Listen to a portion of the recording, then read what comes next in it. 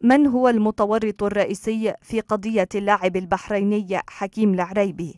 هذا السؤال يرجعنا بالذاكرة إلى أول من عرف على المستوى الدولي بالمسؤول عن تعذيب الرياضيين المعارضين في البحرين منذ العام 2011 وهو نجل ملك البحرين ناصر بن حمد الخليفة المشهد ذاته يتكرر اليوم في قضية حكيم العريبي اللاجئ إلى أستراليا ولكن على يد أحد أعضاء الأسرة الحاكمة الشيخ سلمان بن إبراهيم الخليفة الذي يشغل منصب رئيس الاتحاد الآسيوي لكرة القدم ونائب رئيس الاتحاد الدولي لكرة القدم.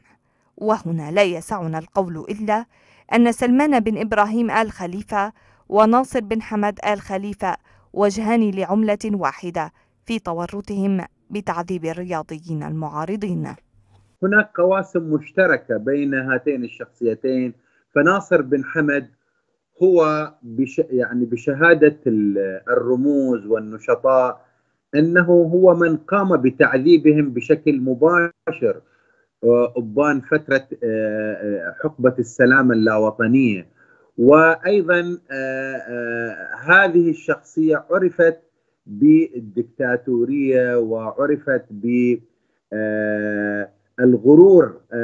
الغرور الذي هو منشأه يعني المنطق القبلي الاستبدادي الدكتاتوري.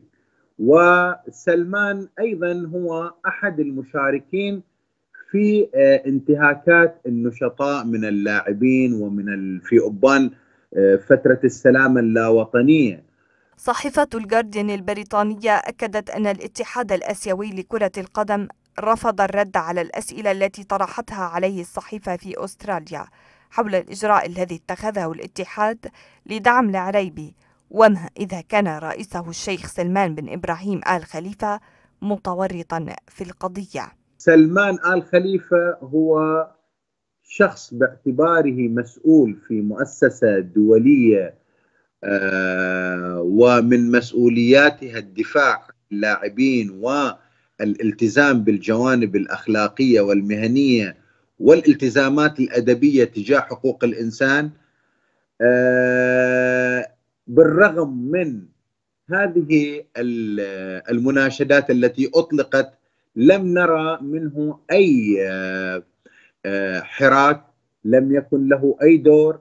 وكانت صحيفة الجارديان قد نشرت مقالا في الخامس عشر من ديسمبر الفائت أعلنت فيه موقف منظمتي ADHRB وبرد من تسليم لاعب كرة القدم حكيم العريبي إلى البحرين إذ قالت المنظمتان بأن تسليمه سيشكل إبعادا غير قانوني وانتهاكا لالتزامات تايلاند القانونية والدولية.